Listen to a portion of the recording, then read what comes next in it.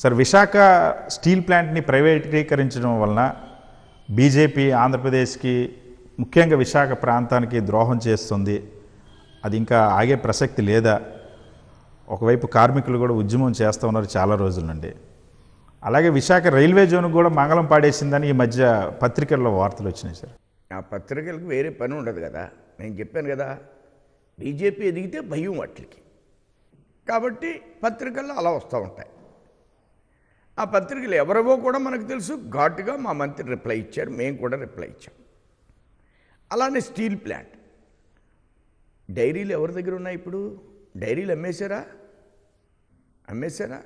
Sugar ఫ్యాక్టరీలు అమ్మేశారా? Spinning mill అమ్మేశారా?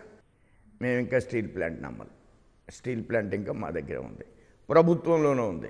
అది మా అధీనంలోనే ఉంది. మీకు ఏ విధమైన డౌట్ అక్కర్లేదు. అమ్మేసిన వాళ్ళని ఇంత గట్టిగా అడగగలరా? నా ప్రశ్న. ఏమయ్యా డైరీలు అమ్మేసాడని సోమవీర్రాజు అంటున్నాడు ఎందుకు అమ్మేసాడు నువ్వే పెట్టేసుకున్నావు. అని అడగలరా?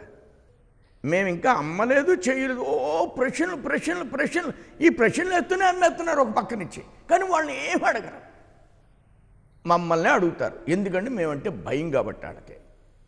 ఈ ప్రశ్నలు మీరు ఎందుకు వేస్తున్నారో మేమంటే భయం కాబట్టి వాళ్ళ నోటి దగ్గర కూడు పడిపోద్ది కాబట్టి నోటి దగ్గర వ్యాపారం పోద్ది కాబట్టి ఇవన్నీ వేస్తారు మా మీద.